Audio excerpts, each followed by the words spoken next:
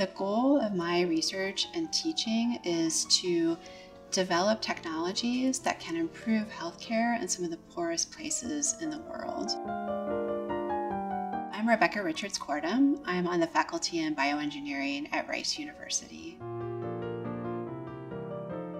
Premature birth is the leading cause of death for young children in the world. One of the biggest problems that premature babies have is that they struggle to breathe because their lungs are immature.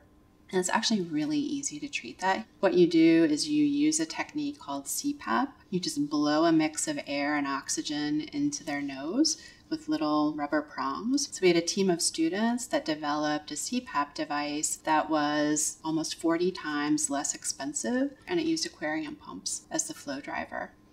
And since that was first introduced in Malawi, we've been able to show that it can triple the rates of survival for premature babies that need it. It's been scaled up all across Malawi, and it's in many other countries across sub Saharan Africa and Asia.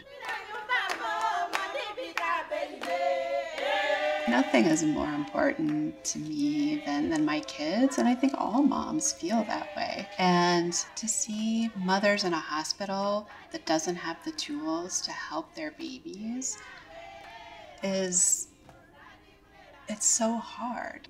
The turning point for me was visiting Malawi and instead of reading about the challenges in global health, actually seeing the challenges in global health and understanding how very closely they're related to the core discipline of bioengineering. Beyond Traditional Borders is an educational program for undergraduate students. Right now, what we're focused on doing is trying to develop a complete set of technologies that allows clinicians to provide high quality care to newborn babies and pregnant women.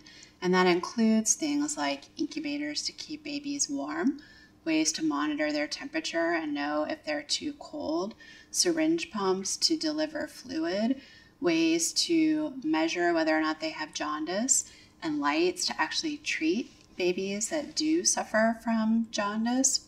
We take the challenges that they face and we turn them into design projects for our students. And it's just amazing to see these teams of students working together, focusing all of their energy on trying to help babies live in a place where it will mean so much.